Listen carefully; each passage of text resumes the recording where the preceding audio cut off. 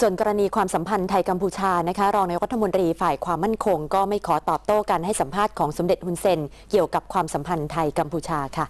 นายสุเทพเทือกสุบรรณรองนายกรัฐมนตรีด้านความมั่นคง ไม่ขอตอบโต้กรณีที่สมเด็จฮุนเซนนายกรัฐมนตรีกัมพูชา ออกมาระบุว่าความสัมพันธ์ไทยกัมพูชาจะดีขึ้น ก็ต่อเมื่อเปลี่ยนรัฐบาล และการให้สัมภาษณ์ของสมเด็จฮุนเซนไม่ถือเป็นการแทรกแซงกิจการภายในประเทศ เป็นเพียงการวิพากษ์วิจารณ์ทางการเมือง ส่วนการส่งทูตไทยกลับไปประจำที่กัมพูชาต้องขึ้นอยู่กับสถานการณ์ โดยกัมพูชาต้องแก้ไขปัญหาที่เกิดขึ้น ซึ่งขณะนี้รัฐบาลไทยกับกัมพูชาไม่ได้ติดต่อกันเป็นการภายใน ส่วนนางสาวรัชดาธนาดิเรก สส กรุงเทพมหานครพักประชาธิปัตย์ในฐานะกรรมาธิการการต่างประเทศสภาผู้แทนราษฎร ตั้งข้อสังเกตว่าไทยอาจถูกกัมพูชาดักฟังโทรศัพท์ กรณีการจับกลุ่มนายศิวรักษ์ชุติพงศ์วิศวกรไทย ซึ่งหากมีการดักฟังจริงจะถือว่ากัมพูชา ได้ละเมิดสนธิสัญญากรุงเวียนนาปี 2504 แต่เมื่อกัมพูชาปฏิเสธ ก็เป็นเรื่องยากที่จะกล่าวหา และทางกรรมาธิการการต่างประเทศเห็นควรว่าควรเชิญพลเอกชวลิตยงใจยุทธประธานพักเพื่อไทย นายศิวรักษ์และมันดา มาให้ข้อมูลกับกรรมาธิการด้วย ส่วนนายพร้อมพงษ์นพฤทธิ์โฆษกพักเพื่อไทย ระบุว่านายกรัฐมนตรีมีความพยายามบิดเบือน ว่ารัฐบาลกัมพูชาดักฟังโทรศัพท์ ซึ่งทราบว่ามีเบอร์โทรศัพท์โทรเข้าหานายคำรบปานวัดวิชัย ซึ่งทางอนุกรรมาธิการภาพลักษณ์ประเทศไทย จะเชิญนายกสิทธิ์พิรมรัฐมนตรีว่าการกระทรวงการต่างประเทศ และนายคำรบเข้าชี้แจงเรื่องนี้วันที่ 23 ธันวาคม ส่วนนายศิวรักษ์จะฟ้องกระทรวงต่างประเทศหรือไม่นั้น เป็นการตัดสินใจของนายศิวรักษ์และครอบครัว ทางนี้นายศิวรักษ์จะเข้าพิธีอุปสมบทวันอาทิตย์ที่ 20 ธันวาคมนี้ ที่วัดสุทธารามอำเภอเมืองจังหวัดนครราชสีมา การเมืองปีหน้าจะร้อนแรงตั้งแต่ต้นปีนะครับหลังจากฝ่ายค้านจะอภิปรายไม่ไว้วางใจรัฐบาลในเดือนมกราคมครับด้านรองนายกรัฐมนตรีและเลขาธิการพรรคประชาธิปัตย์ระบุว่าจะมีการปรับคณะรัฐมนตรี ก่อนการอภิปรายไม่ไว้วางใจรัฐบาลเพียงแค่ตำแหน่งเดียว พร้อมกับพอใจผลงานของรัฐบาลตลอดหนึ่งปีที่ผ่านมา นายสุเทพเทือกสุบรรณรองนายกรัฐมนตรี และเลขาธิการพรรคประชาธิปัตย์ไม่กังวลกรณีฝ่ายค้านจะยื่นอภิปรายไม่ไว้วางใจรัฐบาล โดยเฉพาะประเด็นความมั่นคง เพราะถือเป็นโอกาสที่จะแถลงผลงานต่อรัฐสภา ส่วนนายกสิทธิ์พิรมรัฐมนตรีว่าการกระทรวงการต่างประเทศที่ฝ่ายค้านจับตาว่าเป็นจุดอ่อนของรัฐบาลนั้นนายสุเทพยืนยันว่าไม่น่าเป็นห่วง เพราะทำงานได้เป็นอย่างดี รวมทั้งนายกอบศักดิ์สภาวสุ รองนายกรัฐมนตรี ที่ถูกจับตาเรื่องโครงการชุมชนพอเพียง นายสุเทพเชื่อว่าเมื่อถึงเวลาอภิปรายนายกอบศักดิ์อาจจะไปดำรงตำแหน่งเลขาธิการนายกรัฐมนตรีแล้ว เพราะจะมีการปรับคณะรัฐมนตรีเพียงตำแหน่งเดียวตามที่กำหนดไว้ตั้งแต่ต้น พร้อมระบุว่าหากเป็นอาจารย์จะให้คะแนนผลงานรัฐบาลเต็ม 100 คะแนนนายชวรัตน์ชาญวีรกูลรัฐมนตรีว่าการกระทรวงมหาดไทย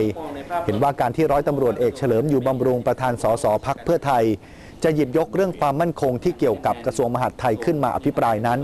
ยอมรับว่าอาจจะมีข้อบกพร่องเกิดขึ้นบ้าง แต่ยังให้คะแนนของกระทรวงในขั้นที่ดีย้ำว่าพักภูมิใจไทยยังไม่คิดปรับเปลี่ยนรัฐมนตรีในสัดส่วนของพักเพื่อหลีกหนีการอภิปรายไม่ไว้วางใจด้านนายชินวรบุญเกียรติประธานวิปรัฐบาล เตรียมเชิญวิปรัฐบาลเข้าหารือ เพื่อเตรียมความพร้อมในการอภิปรายวันที่ 28 ธันวาคมนี้ โดยเชื่อว่ารัฐมนตรีทุกคนจะชี้แจงข้อซักถามได้ และสามารถควบคุม 275 เสียงของรัฐบาลในการยกมือสนับสนุนได้ ส่วนการแถลงผลงานรัฐบาลวันที่ 23 ธันวาคมนี้นายสาธิตวงศ์หนองเตยรัฐมนตรีประจำสำนักนายกรัฐมนตรี บอกว่าได้เตรียมความพร้อมไว้ทั้งหมดแล้ว ส่วนที่ฝ่ายค้านเตรียมจะแถลงนโยบายที่ล้มเหลวของรัฐบาลในวันที่ 21 ธันวาคม ถือเป็นเรื่องดีที่มีการตรวจสอบ โดยรัฐบาลก็พร้อมชี้แจงทุกเรื่อง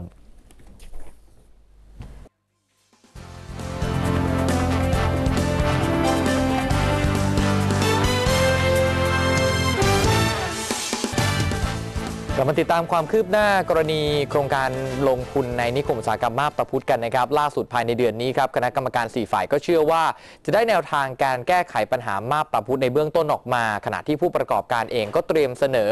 ขอเร่งรัดกระบวนการทำแผนศึกษาผลกระทบด้านสุขภาพนะครับหรือว่า HIA จากเดิมที่เกือบ 1 ปี อยากจะให้เหลือไม่เกิน 5 เดือนครับ นายชัยน้อยเผื่อนโกสุมประธานเจ้าหน้าที่บริหารบมจปตทโรแมนติกและการกลั่น และนายพยุงศักดิ์ชาติสุทธิผล รองประธานสภาอุตสาหกรรมแห่งประเทศไทย ในฐานะกรรมการ 4 ฝ่าย แก้ไขปัญหามาบตาพุธระบุตรงกันครับว่า ขณะนี้ได้แนวทางการจัดทำการศึกษาผลกระทบด้านสุขภาพ หรือว่า HIA และการรับฟังความคิดเห็นของผู้มีส่วนได้ส่วนเสียแล้ว โดยจะนำร่างประกาศกระทรวงทรัพยากรธรรมชาติและสิ่งแวดล้อมมาใช้ ซึ่งคาดว่าจะสามารถเสนอต่อที่ประชุมคณะรัฐมนตรีได้ภายในเดือนนี้ส่วนการจัดตั้งองค์กรอิสระด้านสิ่งแวดล้อมนะครับยังต้องมีการหารืออีกสักระยะหนึ่งครับ ส่วนโครงการลงทุนในอนาคต จะออกเป็นพระราชบัญญัติมาควบคุม โดยจะมีการทำประชาพิจารณ์ลักษณะโครงการที่ถือว่ามีผลกระทบรุนแรง นายชัยน้อยยอมรับครับว่าขั้นตอนของการปฏิบัติต้องใช้ระยะเวลา 6-12 เดือน ซึ่งนานเกินไปจึงจะ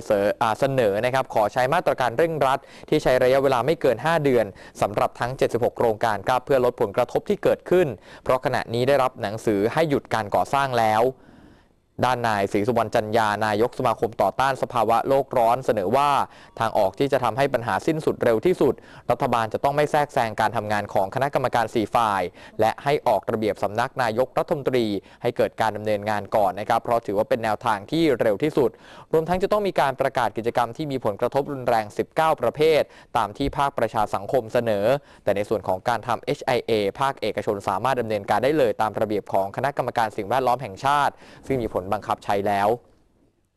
นายศรีสุวรรณยังระบุด้วยครับว่าได้ส่งหนังสือถึงโครงการลงทุน 181 โครงการทั่วประเทศ ให้ดำเนินการตามมาตรา 67 ของรัฐธรรมนูญ แต่หากไม่ได้รับการตอบรับภายในวันที่ 30 มกราคมของปี 2553 ก็จะเริ่มฟ้องร้องให้ศาลระงับโครงการ นอกจากนี้จะฟ้องร้องบริษัทท่าอากาศยานไทยที่ไม่ปฏิบัติตามการศึกษาผลกระทบด้านสิ่งแวดล้อม หรือว่า EIA ที่กำหนดให้นำประชาชนออกนอกพื้นที่สนามบินสุวรรณภูมิ ภายใน 5 เดือนก่อนสนามบินเปิดให้บริการ ขณะที่หอการค้าไทยมีการประเมินนะครับ ก็กลัวกันละครับว่าปัญหามาบตาพุธหากยืดเยื้อเกิน 1 ปี ก็จะทำให้การลงทุนมีผลกระทบต่อเนื่องยาวนานกาจะกินเวลา 5 ถึงว่า 10 ปีนะครับ นอกจากนี้ก็ยังระบุด้วยว่าภาคแรงงานจะได้รับผลกระทบมากที่สุดครับ นายดุสิตดนท่านาครครับประธานกรรมการและสภาหอการค้าแห่งประเทศไทยได้เรียกร้องให้รัฐบาล เร่งแก้ไขปัญหามาบตาพุธให้เสร็จภายใน 4-5 เดือน ตามที่คณะกรรมการร่วมภาคเอกชน 3 สถาบันเสนอ เพราะหากยืดเยื้อเกิน 1 ปี จะมีผลกระทบต่อเม็ดเงินลงทุนของประเทศ ในระยะ 5-10 ปีข้างหน้าทำให้ GDP สุดตัวลง เพราะว่าต่างชาติไม่มั่นใจที่จะเข้ามาลงทุนในไทย ขณะที่ผู้ประกอบการในไทยอาจจะย้ายฐานการลงทุนไปยังต่างประเทศ แต่ก็ยังมั่นใจครับว่าปัญหาที่เกิดขึ้นจะไม่ส่งผลกระทบ ต่อ GDP ในปีหน้าให้ติดลบเหมือนในปีนี้ ด้านนายโคธมอาริยานะครับประธานที่ปรึกษาสภา เศรษฐกิจและสังคมแห่งชาติ เห็นว่าเรื่องนี้เนี่ยเป็นปัญหาของการบังคับใช้กฎหมายครับรัฐบาลควรจะเร่งแก้ไข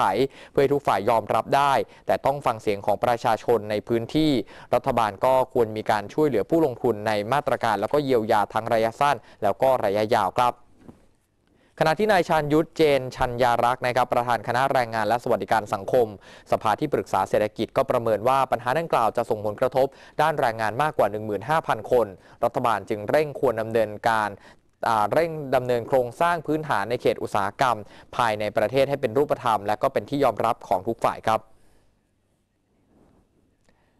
ขณะที่นักวิชาการออกมาระบุนะครับว่าถึงแม้ว่าจะมีสัญญาณการฟื้นตัวของเศรษฐกิจโลกแล้วนะครับแต่ว่าในประเทศเราเองก็ยังคงมีปัจจัยลบหลาย ๆ ด้านนะครับที่อาจจะส่งผลกระทบต่อเศรษฐกิจได้ครับ ในเวทีสัมมนาแนวโน้มและทิศทางการลงทุนกับการฟื้นตัวของเศรษฐกิจไทยนายบัณฑิตนิษฐาวรรองผู้ว่าการด้านเสถียรภาพทางการเงินธนาคารแห่งประเทศไทย เห็นว่าการใช้มาตรการกระตุ้นเศรษฐกิจรอบ 2 ของรัฐบาล จะทำให้ GDP เพิ่มขึ้นค่อนข้างสูง และจะประคองให้เศรษฐกิจของไทยดีขึ้น แต่ยังมีผลกระทบจากเศรษฐกิจของโลกนะครับรวมถึงการใช้จ่ายของภาครัฐ ที่ต้องดูว่าจะสามารถนำเงินมากระตุ้นในโครงการของภาครัฐ ได้มากน้อยแค่ไหน และปัจจัยสุดท้ายก็คือสถานการณ์ภายในประเทศ ทั้งปัญหาทางการเมืองและความเชื่อมั่นของนักลงทุน ด้านนักวิชาการจากสถาบันบัณฑิตพัฒนาบริหาร ศาสตร์นะครับมองว่าประเทศไทยจะได้รับประโยชน์จากการส่งออกหากเศรษฐกิจโลกฟื้นตัว เนื่องจากการบริโภคภายในประเทศมีเพียงเล็กน้อย และยังมองว่าการใช้งบประมาณของภาครัฐ ยังทำได้ไม่ดีเท่าที่ควร รวมถึงกำลังการผลิตที่ยังต่ำนะครับปัญหาสำคัญในขณะนี้คือเรื่องของความขัดแย้งทางการเมือง ที่ยังไม่มีทางออก และปัญหาด้านสิ่งแวดล้อม ที่ยังไม่มีความชัดเจน ทั้งหมดก็ส่งผลต่อการฟื้นตัวของเศรษฐกิจ รัฐบาลจึงควรจัดการปัญหาต่างๆ ให้ชัดเจนครับ